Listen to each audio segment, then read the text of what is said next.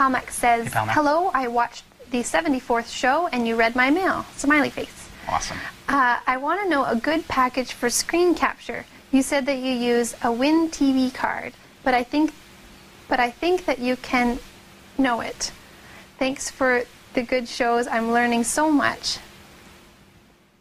Okay. Pal- Palmax. Palmax, thanks for the email. Um, I, I gather from your email that what you're asking for is um, now you asked about what ca- what capture we use, and my response to that was, well, we don't use software to capture. But I think what you were asking is what's a good uh, capture application. So, uh, what was it that I used to use? XVidCap, I think.